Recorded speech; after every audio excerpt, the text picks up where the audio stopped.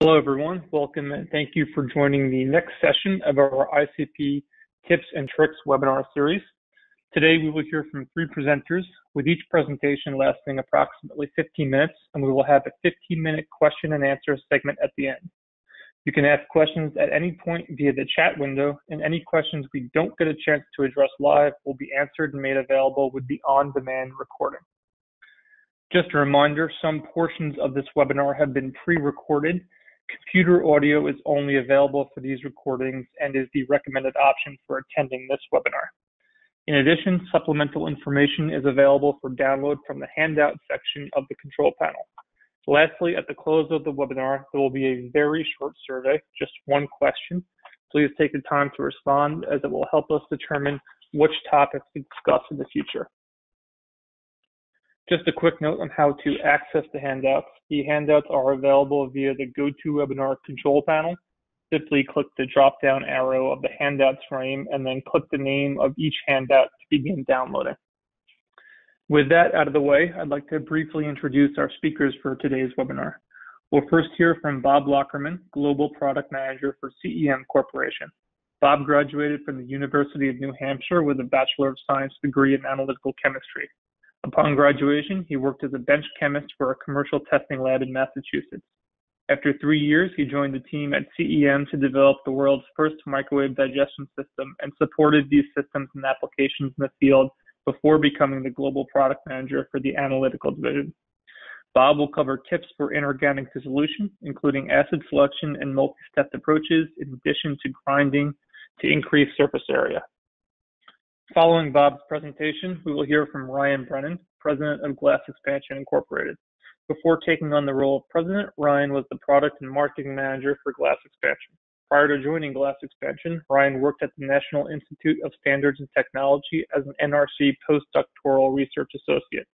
Ryan received his doctorate in analytical chemistry from George Washington University. Ryan will introduce sample introduction components geared towards high total dissolved solids, high acid content, and hydrofluoric acid. Accessories that help to prevent salt buildup and improve long-term stability, including a high performance inert sample introduction system for ICP will be highlighted. Lastly, we will hear from Stan Smith, Field Application Scientist Manager for Atomic Spectroscopy at PerkinElmer. Stan has been with PerkinElmer for 11 years, most of that time as a field application scientist. Stan has 25 years of experience in the environmental and lubricant fields and another 11 years with PerkinElmer's Atomic Spectroscopy Group. He has held several positions in laboratory operations, quality assurance, technical development, environmental health and safety, and laboratory management with several major analytical laboratories. With PerkinElmer, Stan spends most of his time working on applications and method development for inorganic spectroscopic techniques for a wide variety of industries. Stan will discuss how to obtain accurate results with good precision over longer time intervals with fusion samples using the Avio 500 ICP OES. Now, without further delay, let's hear from Bob. Well, thank you very much. And I want to thank the audience for joining us today on behalf of CEM Corporation. My name is Bob Lockerman, and I am the Analytical Product Manager for CEM Corporation. And today I'm going to focus on microwave digestion of inorganic sample matrices. I guess we should define what is an inorganic sample matrix and what we consider. And those would be things like soils, oil ores, excuse me, ceramics, catalyst materials, metals and metal alloys, all sorts of oxides, ash from an organic maybe prep, and then water, of course. Pretty much anything that doesn't have a carbon base. And they're digested much differently than, than organic samples, which we'll cover in a future lecture. What do we want to consider when we're going to be doing an inorganic uh, sample prep? And this is really important because we have to consider what acids, because certain acids will take in certain things or combinations. We have to worry about the sample matrix because what, what's in the sample to digest it. The analytes of interest, and that makes sure that we're digesting something, we don't complex it into something else. Um, the temperatures required, and some inorganics will digest at 210, like metals and alloys, and some oxides and ceramics need to go to 270 or greater. So higher temperature digest typically than organics, but as you'll see, much lower in pressure, which is nice. It also might require a stepwise approach. So we'll use two different acid mixtures, and I'm going to show an example of that with mullite. And then we will notice that the internal pressure, as I'll show you on these graphs, are much lower than organic sample digestions, so we don't have to worry about exothermic reactions for these types of samples, which is nice. Let's look at the various acids that we have at our disposal and when we use them. It's unusual to use nitric acid alone for an inorganic digestion. Uh, it's a good oxidizing agent, which means it's fantastic for organics. But typically for inorganics, we're going to use it in combination with something like HCl and make aqua regia or reverse, or maybe just or HCl and, and, and HF, and we're going to cover that a little bit further on. Uh, it's compatible with most analytical techniques, which means it's friendly to the instrumentation, uh, as, as friendly as an acid could be. And you can obtain nitric acid in high purity. And then the one thing you have to really worry about is that it can passivate. And if you passivate aluminum, chromium, titanium, for instance, it's almost impossible then to get to the next step. It's it's you'll have, pretty much have to start again. Hydrofluoric, actually hydrochloric is considered a good complexing agent, and it forms soluble complexes with many types of metal ions and keeps them in solution. It's not an oxidizing agent, so if there are any carbon material, you may require nitric, and sometimes HCl, uh, excuse me, it may require nitric to, to form uh, aqua regia, and aqua regia is very uh, good for many different types of metals, and we'll discuss that as we move forward. It's very useful for things like iron and aluminum and indium and, and antimony and tin, and it'll stabilize many elements in small quantities. If you don't have HCl and you were not analyzing uh, right, right away, some elements may drop out of solution. Uh, one, one note is that the chloride complexes may interfere with both graphite furnace and then also form uh, compounds that would uh, give you false readings on your ICP mass spec. And uh, that's for another day lecture. Hydrofluoric acid, the one acid, the acid that most people do not like to work with, but unfortunately, if you're going to digest silicates, you're going to need hydrofluoric acid. Uh, fluoride is a very powerful complexing ion, and therefore it will strip away the bonds and, and allow the silicon to be digested. It does volatilize silicon as silicon tet uh, tetrafluoride. In some instances, that makes it very difficult to analyze for silicon. Uh, it does form insoluble fluorides uh, with, the, with the group 2A and the rare earth elements quite frequently. If so, then we can complex it with boric acid at the end to, uh, to take, take those in solution. And the safety hazard, of course, uh, specialized training of your lab staff when you're doing HF and uh, the PPE, appropriate PPE is a must. And uh, the guys from Glass Expansion would tell you it'll require uh, HF resistant transport system uh, for the analyzer, uh, special stuff. The acid mixtures. Okay, I guess going through acids, but what about mixtures? And that's really very common for these types of samples. So the, one of the most common one is for doing uh, for precious metals is to do it in aqua regia, which is three to one of the mixture of nitric and HCl. we also do reverse aqua regia and then nitric HCl and HF. Sometimes you need that to get your alloys, especially alloys that would incorporate some silicates. Um, and then ores, definitely, and ash. Um, aluminum oxide requires a very high temperature digestion, and we achieve that by using sulfuric and phosphoric acids together. And there's been some work with aluminum oxides that have done in pure HCl if you can get to high enough temperatures. Uh, but typically, the sulfuric phosphoric is the more traditional. Um, and then acid X and acid Y uh, and water. And sometimes it's great to have the water in the mix because you do the digestion and the water is there to solubilize. And so there's a lot of different ways to, to look at things, and we'll go in later more in detail as to what we can do for you, and then later on even show you some resources that will help you decide which acid mixture to use. Inorganic samples that are digested in a batch system like the Mars, uh, in this system here, we'd recommend using the iWave temperature measurement, and that's just a contactless uh, temperature measurement that, that, actually measures inside of the vessel into your um, liquid, so your acid sample combination. And that means that you don't have any probes to connect and nothing to worry about leaking where the thermal attaches in. It makes it very simple. And then you have vessel choices. There are some easier to digest metals and alloys. That will show you an example of one that'll digest at 180 degrees, um, but uh, the only which will work fine in a Mars Express or a Mars Express Plus. But the only problem is, is that you don't want to use too much HF. If you do, you want to be cognizant of the fact that the uh, vent and reseal vessel of the um, of the express vessel will allow some HF fumes to get out. 99% are going to get pulled straight out by the exhaust system, but you want to be careful going in afterwards when grabbing your vessels, and then wipe down the cavity very good at the end of the at the end of the run to make sure that you don't have any uh, HF uh, available to uh, to touch. Um, all other applications, we recommend using either the Easy Prep Plus which is the vessel to at the bottom and left uh, next to the Mars, or the iPrep vessel, which is a newer vessel that CEM introduced a couple of years ago that goes to very high pressures, typically used for, inorg- for organics, excuse me, but can be used for inorganics as well. these are the kind of guidelines that we say when you're ramping. Now, we rec- always recommend using one-touch methods, and those are our pre-programmed methods. But if there's not one appropriate, then in Easy Prep Plus, we recommend a ramp time of 10 to 15 minutes, and then a hold time of 10 minutes, and then that temperature's up to 300. Now, because the iPrep can go to such high pressures on the organic side, we limit you to the fact you can either program between a 25 to a 30 minute ramp, um, which is a longer ramp, but uh, and then a 10 minute, same 10 minute hold, and again up to 300 degrees C. Let's look at some examples then for some inorganic digestions, and what we're going to look at pretty much is a metal alloy, and then alumina in the alpha form, which is its most stable form, more difficult to digest, and then mullite. And we'll discuss what mullite is, and that requires the two-step digestion I had spoken of. Metal alloys. again, we look at the different mixtures for different metal alloys. Um, we have a um, again three to one HCl nitric for precious metals. That's our aqua regia again. We have our nitric and HF for things like nichrome steel, and then cobalt, tantalum, and uh, tungsten alloys. And then an HCl-HF mixture actually works well with aluminum and, and, and iron alloys.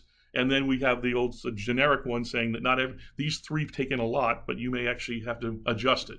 And that's kind of what we're here for. The, our, our, our application staff are here to help you get your samples in solution, so to speak.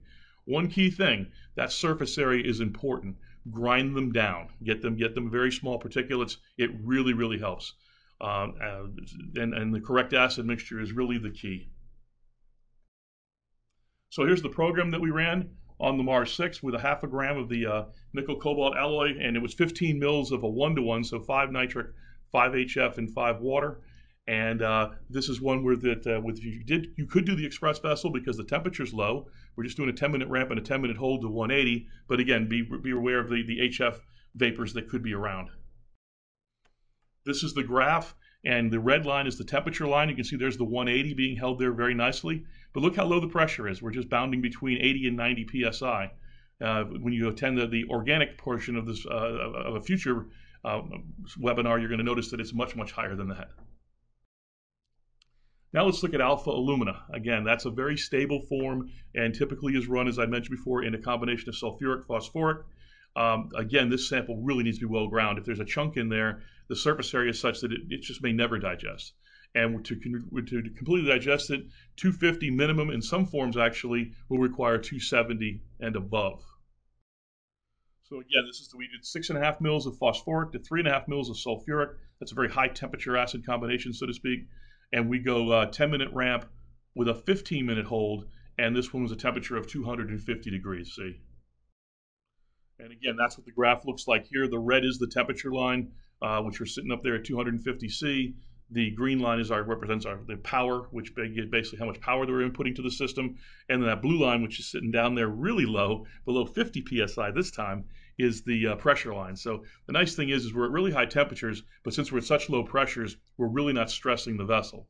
So if you're at high pressures and high temperatures, that's when you worry about stressing the vessel and getting very few vessel runs and things like that. But again, the low pressure really, really helps here. Now, final one, uh, mullite, which is a really interesting material. It's a combination of an aluminum and silicate oxide. So you've got two refractory materials. You've got aluminum and silicon, and they call it a, a refractory aluminum silicate clay is what it's referred to. So you have to do a two-step method. You have to take the aluminum part in with the phosphoric sulfuric that we just showed, and then come back at it and actually do that digestion, cool it, and then come back and add HF for the, for the silicon dioxide.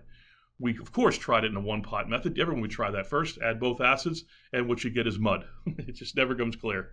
So, once again, particle size is important. Grind it down to a powder. We just did a tenth of a gram for this sample uh, for what we were doing for this study.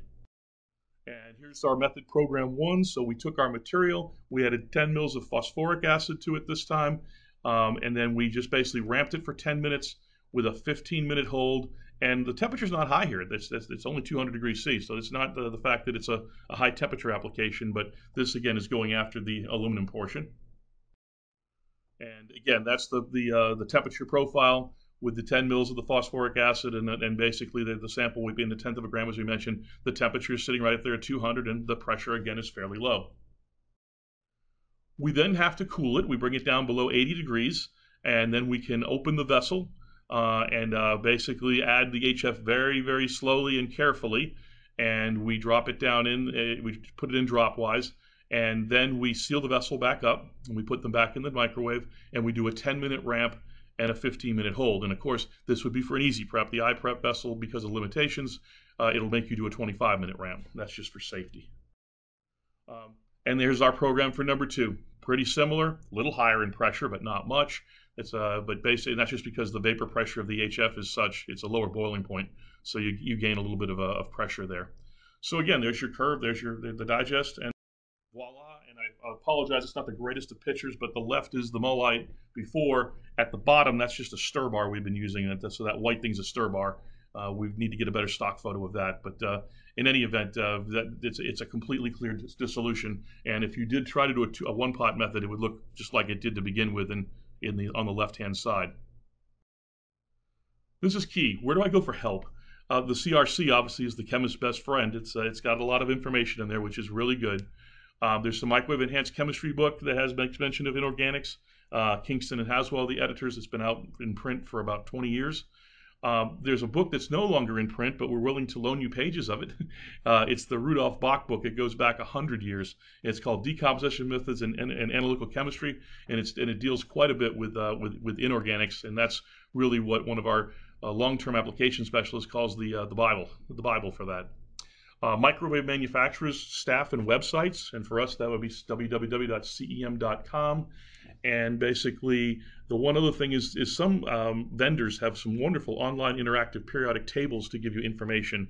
And Inorganic Ventures is, uh, is the one that we point to quite often and use uh, when we're trying to figure out what will solubilize in what. So for today, the part we talked about is the inorganics. And just to conclude, the acid choice is critical. Uh, we select our acids based upon our sample matrix and the analytes of interest. And that's a, a, an interesting play. And that's something we can help you with. Is, uh, one thing we have is we've been doing this for almost 40 years now, and, and CEM has the experience to assist you in getting these samples in solution. Um, you want to use the same acid, so the same acid or acids, and the same acid volume in all your vessels. So you can mix some samples a bit, but they all have to have the same acid type and acid volume in order to uh, in order to run successfully in, in any batch system. Um, we use a one-touch method. If it's, if it's applicable, a one-touch method means it's a CEM-based method that we've created, and there's over 100 of them uh, in the Mars 6. And then, as we kind of showed with the Mullite, a stepwise approach may be required. You may have to do a two-step digestion because the one step just isn't, is, it will not take everything into solution. So hopefully that gives you some ideas of what types of inorganic samples that we work with here at CEM and then how we go about trying to put them in solution. Uh, we are available to our customers and at all times uh, to try to assist them in this. And other than that, uh, I think that concludes our portion, and I'll turn it back over. So thank you very much. Thank you, Bob. As we all know, it is important that you optimize your ICP sample introduction system to best suit your sample types. In our presentation today, we will cover how to handle a challenging sample matrix such as high total dissolved solids, which we'll refer to as TDS, throughout the remainder of the presentation, and hydrofluoric acid, which we'll refer to as HF throughout the remainder of the presentation, and overcome the challenges associated with these sample types, which include interrupted runs, signal drift, clogged nebulizers, shortened torch life, and interferences. In an attempt to cover several different products and accessories, we will briefly introduce each one However, these additional resources are available which cover all the products that will be discussed today in much greater detail. We have our Nebulizer 101 selection and maintenance webinar, which was previously recorded and available now for on-demand viewing. We also have three application notes that are available via the URLs and also as a single handout that you can access via the GoToWebinar control panel, which Justin alerted to us earlier today. As I just mentioned, Nebulizer selection was previously covered in great detail within our Nebulizer 101 webinar. In this particular presentation, we will focus on two of our most popular high TDS nebulizer options.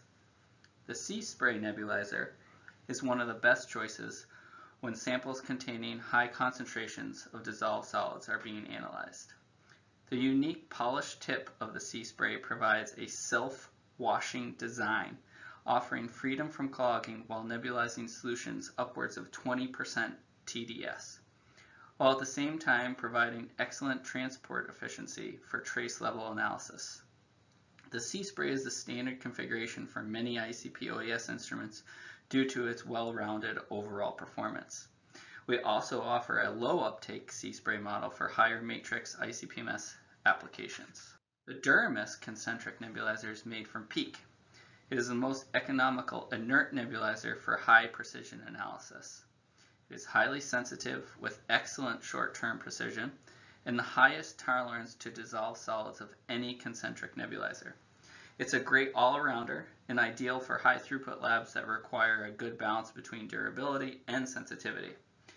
Serviceability is also high as the capillary insert assembly can be replaced if needed. It is standard operation to use dry argon as your ICP nebulizer gas in order to generate an aerosol and transport the sample to the plasma. However, when dealing with samples containing high amounts of TDS, you have an increased likelihood of salt deposits forming at the tip of the nebulizer and injector. This can result in a failed analysis due to a drift in signal, or, in worst case, an extinguished plasma. It also results in frequent nebulizer maintenance and a higher rate of nebulizer replacement. For optimum performance, you can humidify the nebulizer gas before it comes in contact with the sample, decreasing the likelihood of salt deposits forming at the tip of the nebulizer and injector.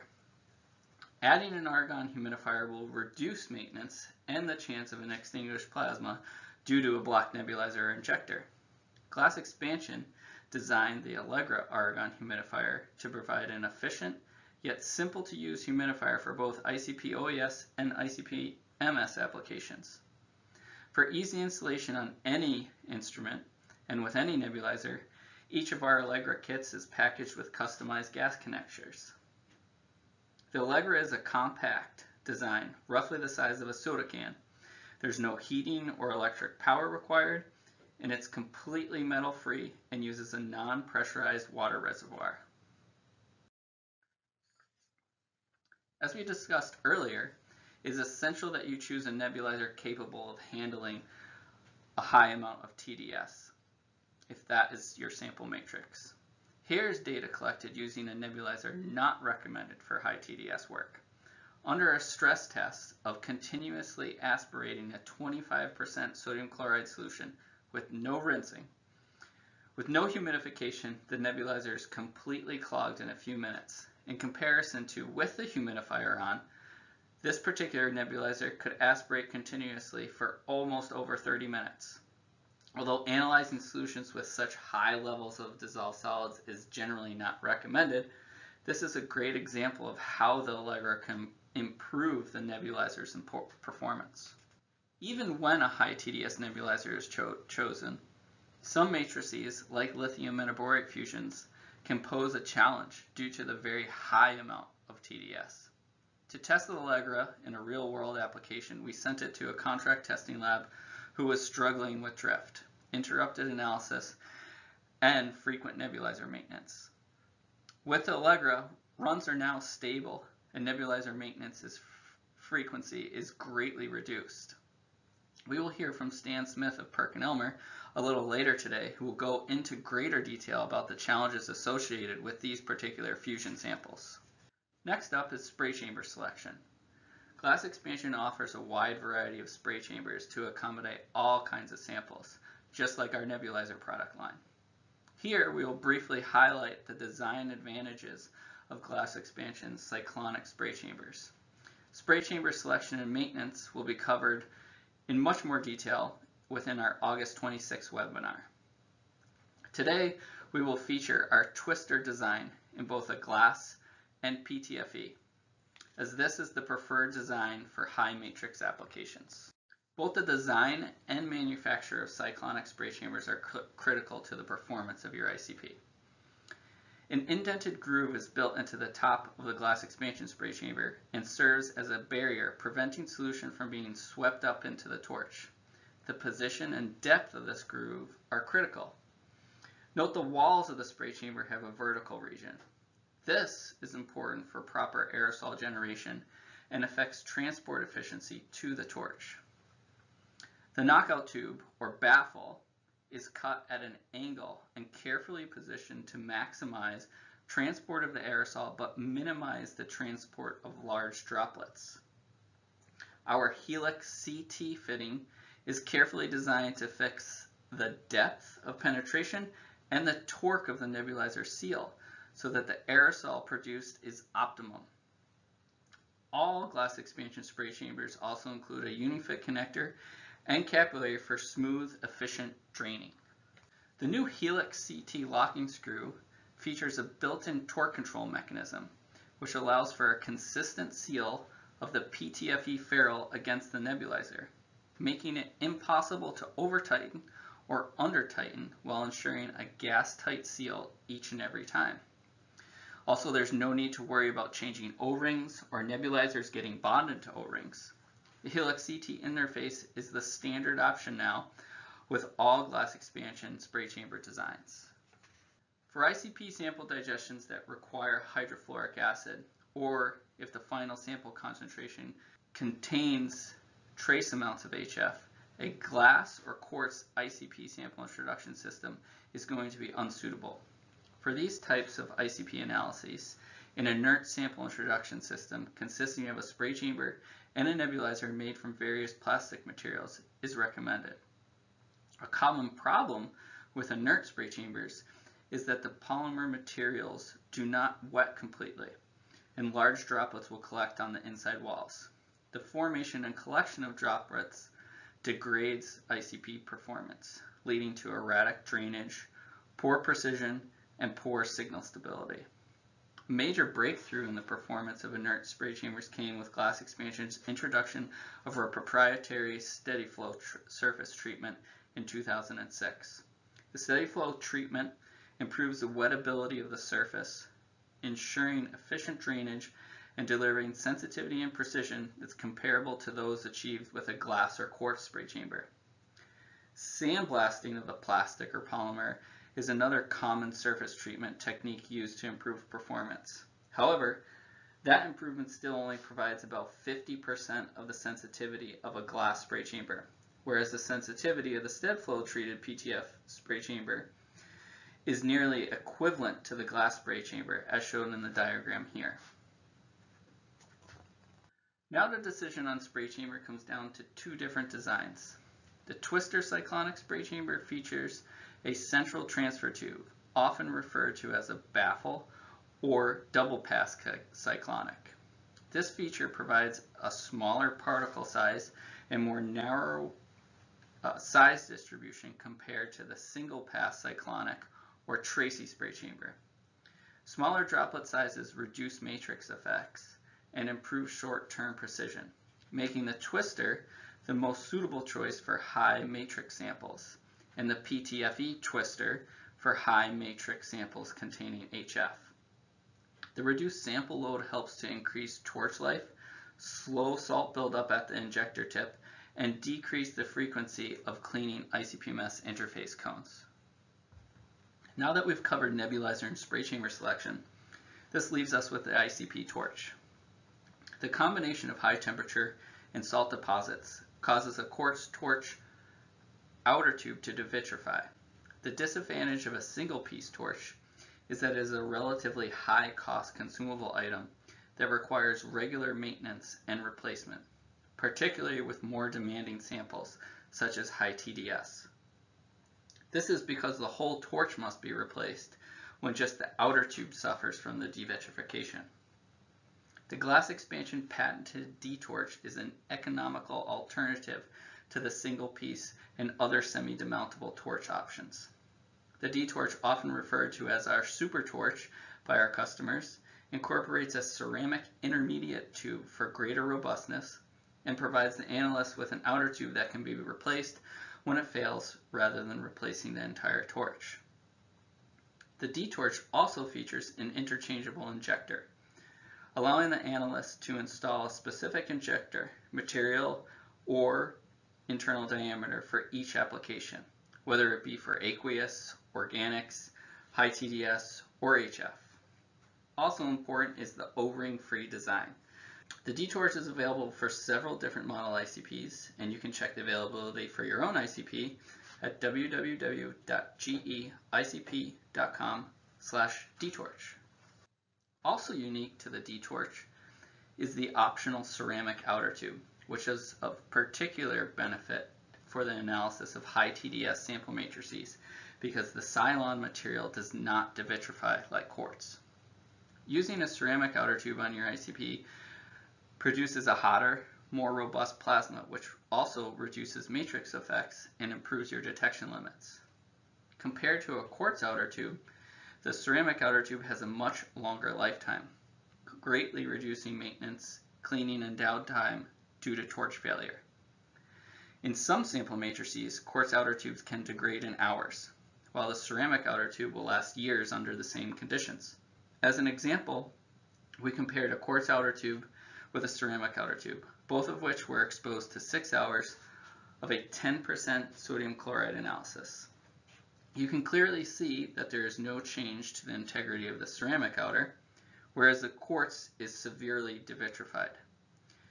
The ceramic outer tube is especially ideal for fusion samples, where the lithium salts rapidly attack quartz. Now that we have introduced each sample, sample introduction option for high matrix applications, we will now organize these products into application kits and present some data. We'll hear from Stan Smith following this presentation, where the Avio 500 is used in combination with the Glass Expansion SeaSpray Nebulizer, Twister Spray Chamber, Allegra Argon Humidifier, and our fully ceramic D-Torch. The details of this work can also be found in PerkinElmer Application Note 35847, which is also available to you as a handout with today's webinar. I will be highlighting the performance of Glass Expansion's PTFE Twister Cyclonic Spray Chamber, DuraMist Nebulizer, and fully ceramic D-Torch as our HF resistant application kit for high matrix samples. In this study, the Glass Expansion sample introduction system was compared to a cross-flow nebulizer paired with a polyphenyl sulfide which I'll refer to as PPS, Scott type spray chamber, and a non-concentric polymeric nebulizer referred to as NCPN throughout the remainder of the presentation, which was also paired with a PPS Scott type spray chamber. A PerkinElmer Avio 200 sequential ICP OES was used for this work. Their experimental conditions are listed in the table provided. Without relying on the auto integration feature, integration times were manually set to 2 seconds for each analyte wavelength in order to maintain consistency for all sample introduction systems tested. A multi-element test solution containing 0.5 ppm copper and manganese and a 1 ppm arsenic, selenium, manganese, sodium, and potassium was used. Each sample introduction system was evaluated based on measured sensitivity, signal to root background ratio, referred to as SRBR, and precision. For the sensitive sensitivity and SRBR calculations, net signal counts per ppm was used. Precision of the net signals was estimated by analyzing the multi-element test solution. The first parameter that we examined is sensitivity, obtained with the NCPN paired with the PPS Scott type and crossflow paired with the Scott type, relative to the sensitivity of the DuraMist nebulizer paired with the PTFE twister spray chamber. The results show that the combination of the DuraMist and PTFE twister provides an increase in sensitivity by more than 50% or more for all elements examined. As mentioned previously, the best indicator of analytical detectability for ICP OES using a solid-state detector is the signal-to-root background ratio. Similar to what was observed when comparing sensitivity, the DuraMist nebulizer and PTFE twister spray chamber provided close to a 50% improvement in the signal-to-root background ratio when compared to the other two inert sample introduction systems. The final merit of performance examined was short-term analytical precision. The precision results also indicate that the DuraMist nebulizer and PTFE twister provide superior RSDs, well below 1%. So in summary, for those laboratories that require the utmost in sensitivity and precision in an inert sample introduction kit, the combination of the DuraMist and PTFE twister and fully ceramic D-torch is the optimal choice for HF and high matrix samples. And thank you all for your attention. Thanks, Ryan. And now we'll hear from Stan Smith of PerkinElmer. Good afternoon and good morning for those of you out west. As just indicated, my name is Stan Smith, and I'm the manager for the inorganic field application scientists at PerkinElmer, but I'm still an application scientist at heart. I'd like to take a few minutes today to review some work I did with a customer on some very challenging fusion samples. We'll briefly go over what makes fusion samples so challenging, what we did to overcome these challenges, and show you some data to demonstrate how well the solutions worked. Then we'll wrap it up with a summary and review the hardware and components and the application note. Fusion fluxes are a common approach to preparing geological samples, such as rocks and ore samples. There are a variety of flux materials, including peroxides, persulfates, and meta or tetraborates. In this work, the customer had developed a lithium metaborate flux matrix. Essentially, the crushed ore sample is added to lithium metaborate in a platinum crucible and heated over a flame or in a furnace to melt the salt and dissolve the ore. The molten flux is then cooled back to a solid, which can then be dissolved in dilute acid. The specific ingredients in this fusion flux vary with sample type as do the dissolution acids used. These fusion samples are particularly challenging for ICP analysis. Depending on the flux material or blend thereof, they contain very high concentrations of lithium, sodium, and potassium. These salts deposit on the torch, injector, and nebulizer, which eventually leads to signal drift due to aerosol transport changes. More often than not, the deposits result in a reduced signal, leading to failed quality control samples, which requires corrective actions such as sample intro cleaning and recalibration, which takes time away from sample analysis. In addition, this high salt matrix causes the rapid devitrification of the quartz torch. Devitrification is a process where the quartz structure actually starts to break down. At first, it appears as a whitish frost on the quartz, and eventually degrades the quartz to the point where it erodes away and pieces of quartz may fall off. There are three things that contribute to quartz devitrification, high temperatures, oxidizers, and group 1 elements such as lithium, sodium, potassium, and cesium. In an argon plasma, the high temp is a given, but the argon gas flows help protect the quartz from the direct contact. However, the lithium and other salts in the fusion matrix wreak havoc on the quartz. Torches may last only weeks or days depending on the conditions. These factors make it very challenging to achieve long-term stability. For the customer that I was working with, they run a 24-7 operation and the ICP instruments are never turned off unless necessary. For them, long-term stability was essential, as well as reduced downtime. Specific to this work, the ore samples subjected to the fusion preparation were mineral ore samples, largely iron ore, with high levels of silica, aluminum oxide, calcium oxide, magnesium oxide, and manganese. The fusion flux was dissolved and brought up to volume in 5% nitric acid prior to analysis. The ICP was calibrated using matrix-matched in-house standards. That is, large batches of ore samples were analyzed repeatedly and corroborated against reference materials and external analytical techniques. These calibration standards are prepared with each batch of ore samples. Yttrium is used as an internal standard to compensate for any minor differences that matrix matching doesn't already address, such as sample transport fluctuations. Because all samples and standards are prepared with the same dilution factor, the yttrium is included right in the diluent and minimizes any delivery errors. Routine sample introduction hardware and plasma conditions are not particularly effective for fusion samples, especially for long-term stability. Typical hardware and plasma conditions are intended for more routine aqueous samples that don't have such high solids content, particularly the alkali elements. The goal here was to find alternative hardware that could better handle this matrix and to limit the aerosol being transported to plasma to minimize deposits. Glass Expansion was kind enough to work with us to come up with a high solid sample intro kit that could be used for fusion samples. This kit consisted of the following components. The SeaSpray nebulizer is designed to be a very efficient nebulizer, yielding great sensitivity, yet resists the clogging and deposits of many concentric style nebulizers. The Allegra argon humidifier takes the argon and passes it through a permeable membrane submerged in water to moisten the argon.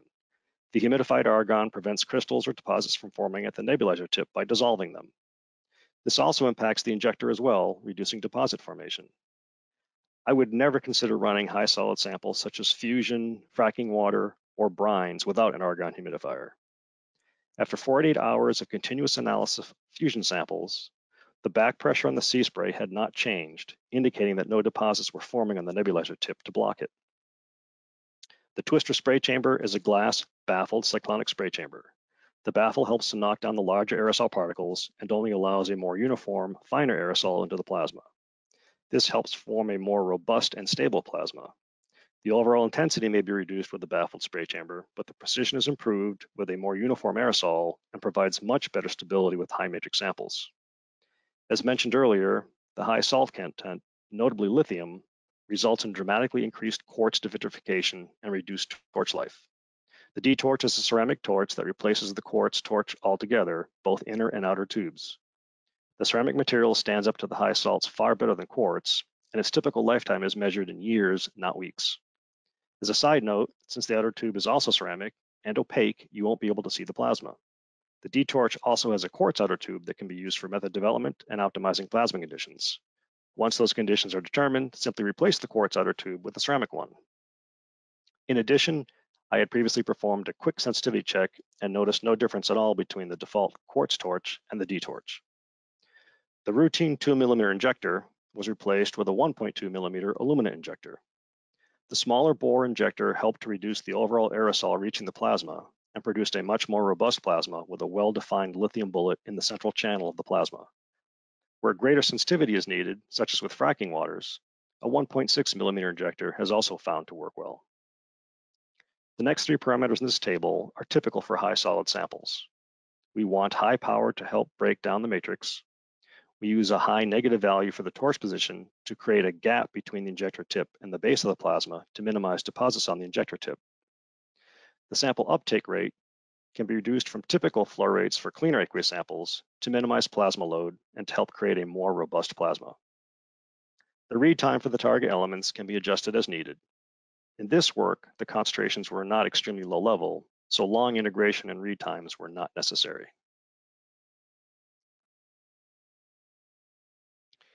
This table shows the analytical wavelengths that were used for the five target elements and the internal standard. For the customer ore samples being analyzed, these wavelengths were free of spectral interferences and provided more than adequate sensitivity.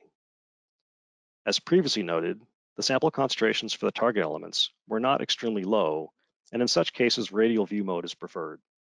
Radial view is generally free of factors that can sometimes influence axial view, such as ionization effects, matrix effects, and spectral interferences. If you don't need the sensitivity of axial view mode, we recommend radial view. Plasma conditions should ideally be optimized for the samples being analyzed and for the sample introduction hardware being used. With less complex aqueous samples, we can often provide a fixed set of conditions for the default sample intro hardware that will work adequately. With heavy, complex matrices full of salts and dissolved solids, however, we really need to optimize the plasma conditions for that matrix. In particular, optimizing the plasma flow, auxiliary flow, nebulizer gas flow, and torch position are important for establishing a robust plasma that is capable of long-term stability with these complex matrices. The plasma on the left was what was in place when I arrived at the customer site, and there were complaints of rapid deposit formation and signal drift. With this plasma, the lithium bullet was too short and broad and was not forming a good central channel for the aerosol to be introduced into the plasma. As a consequence, some of the sample aerosol was being entrained or working its way to the outside of the plasma and up the inner wall of the torch, leading to increased torch vitrification and loss of signal intensity. Also, the base of the plasma was very close to the injector tip, which allowed the salts to deposit on the injector tip, causing signal drift. Following some adjustments and optimizations, we were able to establish the plasma you see on the right. If you compare the plasma on the right to the one on the left, you can see that the lithium bullet is much better defined and extends to the second plate. There's also a much better defined and visible gap between the base of the plasma and the injector tip. You'll also notice that there is no entrainment of the lithium aerosol around the base of the plasma or running up the sides of the torch. These are all important factors in obtaining long-term stability and for minimizing maintenance.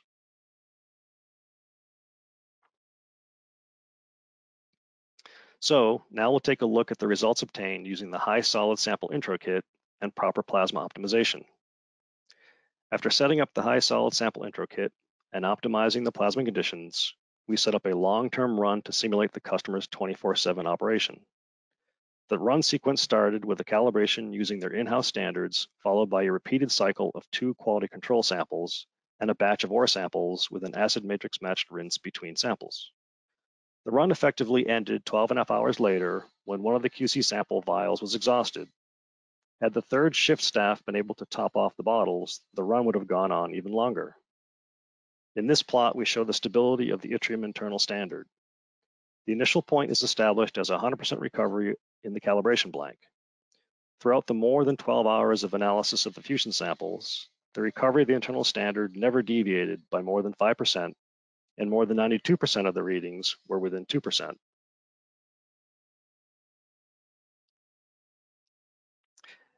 As was previously mentioned, the customer analyzes two in-house quality control samples with each batch of ore samples to determine bias and precision. This plot shows the results obtained for the first QC sample that was analyzed repeatedly between the batch of ore samples. The QC samples were analyzed approximately every 18 minutes. Here we can see that all the recoveries were within 2% of the known values, and the relative standard deviation of the three replicates was less than 1%. This plot shows the recoveries and RSDs for the second QC sample. With the exception of aluminum, again, all the recoveries were within 2% of the known values and the RSDs were less than 1%. The customer had been having difficulties with this batch of QC ore and believed it to be contaminated with aluminum. Despite the contamination, the recoveries did not deviate by more than 2% from the average of 110%, and the RSDs were also less than 1%. Following two full days of nonstop analysis of fusion samples, we took the torch and injector out to inspect for deposits. The outer ceramic tube had some minor salt deposition, but nothing that had any impact on data quality or stability. The lip of the inner auxiliary ceramic tube had only trace amounts of salt deposits, Again, nothing that impacted data quality or stability. What was most impressive was that there were no deposits at all on the injector. Previously, the customer would perform hot swaps of injectors when the signal started to drift significantly, which was their sign that deposits were affecting the signal. They had never seen an injector this clean after 48 hours. Also, as was previously mentioned, the nebulizer gas back pressure had not changed nor had the signal intensity, indicating that there were no deposits forming on the nebulizer tip. In addition to the high solid sample intro components that minimize salt deposits, the Avio 500 uses plasma shear, which also helps to minimize deposits. The primary function of plasma shear is to cut off the cool and noisy tail plume of the plasma. In radial view, this would not be necessary, but since the Avio 500 is a dual view instrument, removing this tail plume is necessary for axial view. It eliminates interferences from the cool zone of the plasma, where molecular emission is greatest, as well as plasma flicker. It also prevents the plasma from damaging the axial optics window. With high solid samples, an added benefit is that the plasma shear prevents deposition on the axial optics window and prevents any particles from falling down into the plasma. While axial view was not used in this work, this feature would be very beneficial where more sensitivity is needed, such as with fracking water samples. To conclude, I believe this work and presentation have shown you that the Avio 500 with a glass expansion high solid sample intro kit provides accurate, precise, and reproducible results with challenging high salt samples like ore fusion samples. Additionally, this quality can be achieved for long periods of time, demonstrating excellent stability. There are many other features of the Avio 500 that contribute to the stability and performance, but we'll save that for another presentation. For the purpose of this presentation, I focused on those features and hardware that uniquely impact quality and stability in the high solid samples. I'd also like to point out that this work was performed at the customer site using their Avio 500 and all their reagents and standards. I was simply there to help train them on their new Avio and to introduce them to the new high solid sample intro kit. To review, that kit includes the Allegra argon humidifier, the SeaSpray high solids nebulizer, the Twister baffled cyclonic spray chamber, a narrow bore alumina injector, and the ceramic D-torch. And let's not forget the Avios plasma shear. More details of this work can be found in the application note on the PerkinElmer website, and this app note is also included as a handout to this webinar. I'd like to thank you for taking time out of your busy day today to spend some time with us, and I hope you found the presentations informative. With that, I'd like to pass the controls back over to Justin. Thanks, Dan. Uh, and now we have a few minutes where we can go to our questions and answers segment. Uh, just a reminder, you can ask questions uh, at any point. You can still ask them, just uh, put them in the chat window and we'll do our best to answer. Also, if there are any uh, highly technical questions, uh, typically what we'll do is we'll we'll give you a, a brief answer um, over the live webinar, and then once the question and answer document is updated and made available, uh, we'll include much much more information uh, than we can include um, here in that document. So first question we have for Bob. Uh, Bob, I'm going to ask two questions together. Uh, we have an alloy that has hafnium and cerium do you have any re recommendations on type of acids required? Uh, also from the same asker, uh, we have an alloy that has gold and silver. Do you have any recommendations for types of acids required? Okay, I've got both of those. Appreciate that. Um, I probably have a little more information on the gold and silver because that's pretty common. And we have experience working here with both gold and silver. And the problem that we run into, and I'm sure you have too out there in, in the audience, is that the aqua regias really needed to put the gold in solution, but then you have the HCl that can complex to form silver chloride. And you can see that forming on the sides of your liner inside. Um, if you were to analyze immediately, and that's one thing, if you were to digest and then get that over the analyzer within 30 minutes, and your silver was in the lower range, maybe in the ppb range, um, then it's quite possible you could do them together. Uh, but if they're in higher concentrations, it's going to be two separate digestions, which is not the answer anybody looks for, but it's usually the case. Also, real quick, if you have used some vessel liners and have used hydrochloric acid in them in the past, you need to be careful because the residual chloride can be present and it will again form the silver chloride and now you get lower silver results. What we do is we take our liners and we put them in an air oven at 150 degrees and we call it a bake out and we bake them for four hours and that will get rid of the residual chloride gas. We have a video on the website that shows how to do that.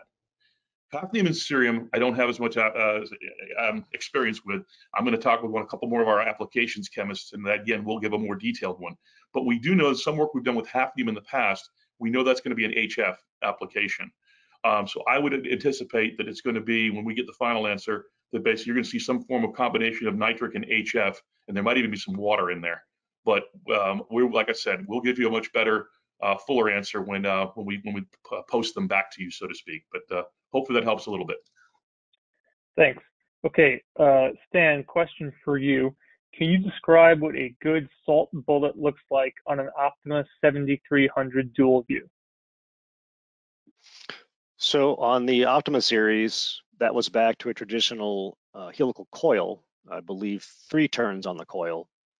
So typically on your sodium bullet, yttrium bullet, um, whatever you want to use to create the bullet, lithium in the case of the borates, um, you want that bullet right about at the third coil.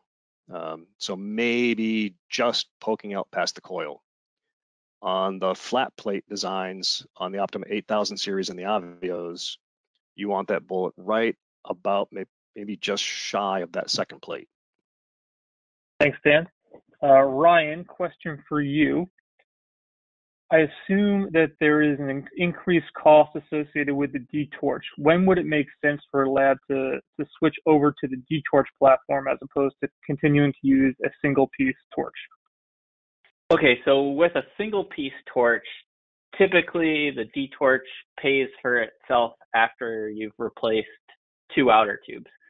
If if you're going through torch replacement on uh, maybe like a a monthly basis, that's where you really want to take a look at investing in the ceramic outer tube uh, to to get your ROI. Uh, the ceramic outer tube will be a much better choice if you're going through a much higher rate of of torch replacement costs, and that's typically going to be very common, uh, as both Stan and I mentioned in our talks when you're doing these really high matrix uh, sample matrices like the like the fusion samples or really high TDS um, or high, even high, very high concentrations of acids as well. Thanks, Ryan. Okay, we have a couple more questions for Bob. Uh, Bob, do some elements sublime off during digestion? There is usually low yield for elements like phosphorus, sulfur, and silicon while using microwave digesters. Any idea why? Okay, that's a that's a really good question, and the answer is the silicon. You know, something that sublimes basically goes directly from the solid to the gas state, and then comes back as a solid. And certainly, silicon will do that. It's a silicon tetrafluoride, and you can see it coating uh, on the on the inside of the vessel. Uh, so basically, you have to make sure you get you get out at the end. So that makes silicon uh, analysis difficult. I'm going to check with our uh, senior team uh, afterwards, and again, we'll give more fuller um, uh, answer, so to speak, um, when the written part. But as far as phosphorus and sulfur, I'm going to be able to give you a much better answer because we just finished a study yesterday where we did uh, sulfur and, and, phosphorus in the um, uh, in, in, an analyzed for it in geological samples. And uh, phosphorus and sulfur are difficult both when you do the digest, keeping them in, and then also analysis side. So I'll be able to answer a little bit on saying, hey, here's how we did the digest, here's what we did to take care, and here's how we set up the analyzer uh, also in order to get good um, to get the good numbers. And uh, we did get. I, I, was in a meeting this morning. The numbers for sulfur and phosphorus did come out very good. So uh, I think we can help you definitely there. But the silicon has an issue, and then boron would also be one of those things. Boron for, uh, forms boron trifluoride and became difficult to analyze for boron. So hopefully, again, that, that gives you an idea, and a, and a better answer will be coming. Thanks, Bob. Uh, Ryan, question for you and Stan. You, you might want to chime in uh, if you have anything to add. For a regular water sample mixed with high sodium once in a while, what's the preferred nebulizer spray chamber combination you recommend? Uh, I'm using an Optima 7300 DV. Okay, I'll, I'll start. I mean, so the the problem is is that probably for your your regular water samples, maybe you don't necessarily need a high TDS nebulizer. But if you're going even infrequently, you're going to be running high samples that have a higher amount of total dissolved solid or a higher amount of the sodium in them, you're going to need that that high TDS nebulizer. And if you want to save your torch and create a bit more robust plasma condition to to be able to handle the higher matrix samples better, you really want to to settle on something like the the SeaSpray nebulizer and twister spray chamber combination. And you know, don't be afraid to add a simple accessory like the argon humidifier even for your regular water samples. I mean, we've had a lot of customers who, even though they're running uh, lower amounts of TDS in their samples, the argon humidifier is not going to degrade the performance by any means. If anything, it's just going to help your nebulizer and injector uh, run cleaner for longer periods of time. So it will it'll reduce the frequency at which you have to take those components out to clean them, and also re- reduce the frequency at which you're replacing them.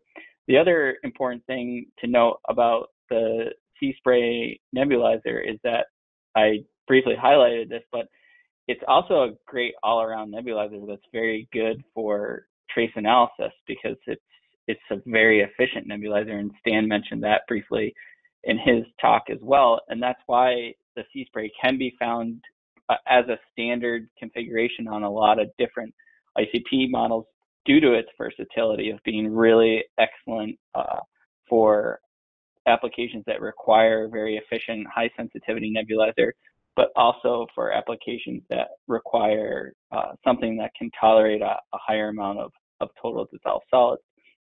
And with regards to choosing between, say, a, a baffled and a, a non-baffled cyclonic spray chamber, eh, the the difference in, in sensitivity or count that you you're going to get is sometimes negligible. If you compare the two, typically it's about a difference of 10 to 15 percent between our Tracey and Twister.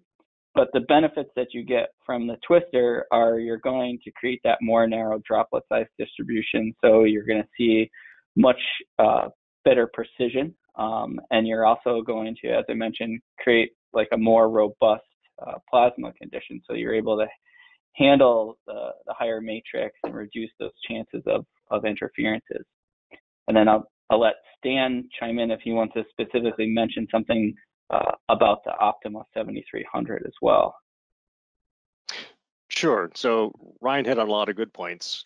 Um, a lot of it ultimately comes up or comes down to the amount of maintenance you're willing to tolerate. If you don't mind taking the nebulizer out and cleaning it on a more regular basis, you could stick with whatever you currently have. Um, just personally, I, I agree with Ryan. The SeaSpray is a great all-around nebulizer. It'll have similar performance to what you may have by default on an Optima, uh, and add the ability to add um, higher solids. One thing you can do to just monitor if your nebulizer is starting to show blockage is to monitor the back pressure. In the software that you have on the Optima, there is the ability to monitor back pressure. It'll show up on screen with each individual reading. And if you're watching the back pressure start to increase as you run those high salt samples, then you know the nebulizer is being impacted in its performance. And you probably do want to consider a higher solids nebulizer. And as Ryan also mentioned, um, the Allegra, we have many customers using Allegra on routine, say, environmental applications. It won't hurt anything. And even in what we call clean water samples, our drinking water can often be very hard water. So while it's clean, it's still got significant total dissolved solids in it, particularly calcium, magnesium. And the humidifier can help a great deal with that sort of stability. One thing that I really, really like about uh, what Stan had mentioned is is the monitoring of the nebulizer back pressure. That's something that we covered in our maintenance webinar, and that's one key thing to note and check on a daily basis is to when you're running optimally what that back pressure is, and then as it starts to deviate from that optimum, you'll know that if there might be some nebulizer maintenance required or to check connection for you know leaks or improper fittings if the back pressure starts to dip below what that norm is. All right let's do one more question. And ryan this will be for you since it's a follow-up question to what was just discussed. Uh, although i believe you did briefly mention some of this do the configurations you're recommending have any impact on detection limits? None whatsoever. And in fact you know, we kind of highlighted a little bit. Using a, a baffled cyclonic spray chamber can improve your detection limits because you're getting a, an improvement in your signal to noise ratio uh, because you're creating that more narrow droplet size distribution. So the droplets that are being introduced into the plasma are much, much finer and you're creating a more robust plasma that can really help with the detection limits. And in some of our application notes, you'll see a a comparison of uh, say the the D-torch with a quartz outer tube compared to the D-torch with a ceramic outer tube. Um, and I think Stan briefly mentioned this in in his talk as well, is that there's no degradation in the performance when choosing to use a quartz torch versus the ceramic outer tube. In fact, in some cases in our own R&D lab, we've seen that the ceramic outer tube can actually create a, a hotter plasma creating or improving detection limits for certain wavelengths for elements of interest. All right, thanks. And that's about all we have for time today. Uh, just a reminder, if we didn't answer the question you asked or if we didn't provide enough detail, uh, those questions will be answered and updated in the follow-up documentation. So thanks everyone for joining. Thank you, Bob, Ryan, and Stan uh, for your help presenting. And we hope you can join us next time.